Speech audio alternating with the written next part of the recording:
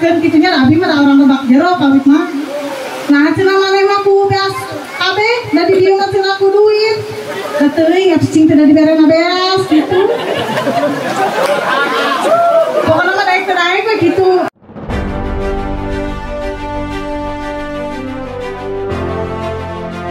Anggota DPRD Kabupaten Garut Praksi Partai Amanat Nasional dari daerah pemilihan 2, Taufik Hidayat menggelar reses perdananya masa sidang 2 tahun 2022 di Kampung Patrol, Desa Karangtengah, Kecamatan Kadungora, Kabupaten Garut, Jawa Barat, Senin 6 Juni 2022.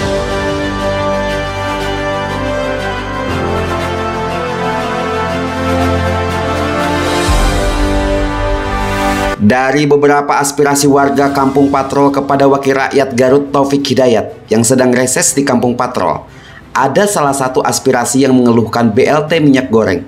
Pelaksanaan penyaluran bantuan BLT Migor, penerima BLT Migor tidak menerima uang, melainkan dengan barang atau bahan sembako. Hal itu dikeluhkan oleh salah satu penerima BLT minyak goreng di Kampung Patrol, Desa Karangtengah, Kecamatan Kadungora, Kabupaten Garut, Jawa Barat.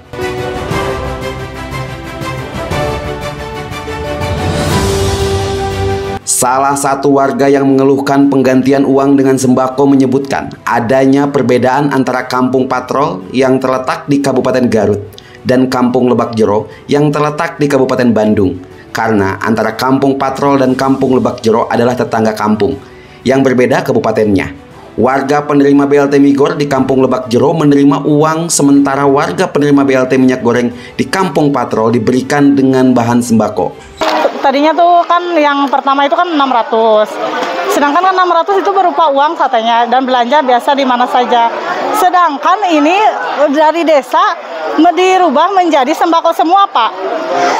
Tapi setelah meminta setelah meminta uang berusaha meminta uang walaupun separuh saja.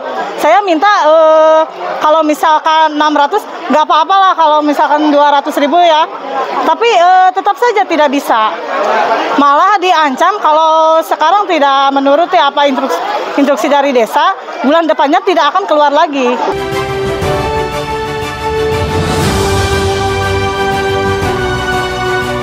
Ibu Linda, salah satu warga mewakili penerima bantuan BLT minyak goreng di Kampung Patrol mengungkapkan kekesalannya karena BLT minyak goreng walaupun dirinya meminta untuk menerima sebagian uangnya dan sisanya diganti dengan bahan sembako. Namun menurutnya tidak bisa, harus semuanya penerima BLT Migor tidak membawa uang, melainkan membawa bahan sembakonya.